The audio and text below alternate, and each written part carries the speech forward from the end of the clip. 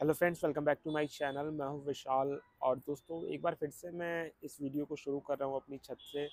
और वीडियो में काफ़ी डिले हो चुका है, मैं काफ़ी दिनों से वीडियो नहीं बना रहा हूँ, क्योंकि मैंने आपको बताया था कि मैं अपना ट्रीटमेंट करवाने आया हूँ दिल्ली में। तो मैंने अपना ट्रीटमेंट शुरू कर दिया है और मैं डॉक्टर से भी मिल के आ चुका हूँ और उन्होंने मुझे कुछ टेस्ट वगैरह लिख के दिए हैं, जैसे कि ब्लड टेस्ट हो गया सी स्कैन हो गया ईसीजी ये सारे टेस्ट मैंने करवाए हैं।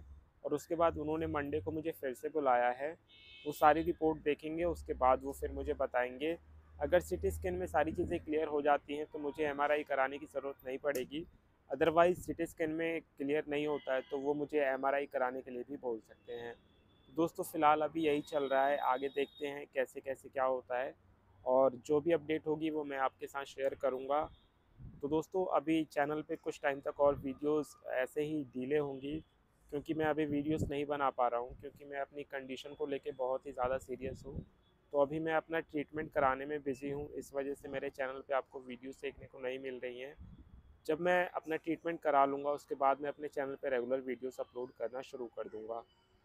तो दोस्तों, यही एक छोटी सी अपडेट थी, फिर मिलेंगे आपसे नेक्स्ट वीडियो में। तब तक के लिए ख्याल रखिए अपना और अपनी फैमिली का। Thank you